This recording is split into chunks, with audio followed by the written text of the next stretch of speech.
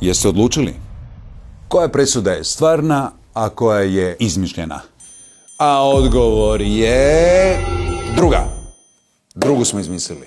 Zbog izazivanja duševnih boli premijeru Republike Hrvatske izričem vam kaznu od 25.000 kuna.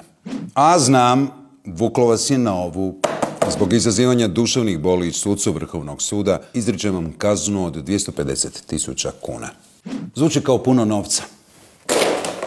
Ali tko je od nas vrhovni sudac da može znati kakvu vrhovnu duševnu bol nosi vrhovni sudac? Ako običan sudac dobije 50-60 tisuća, vrhovni sudac sigurno zaslužuje 250 tisuća kuna. Ujak Ben davno je rekao Spidermanu Peter. S velikom moći.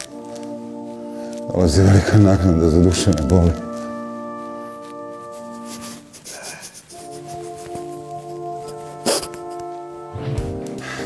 Vidimo se u idućoj epizodi.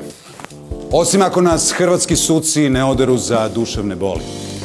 I hvala svim nedobitnicima naše nenagradne igre.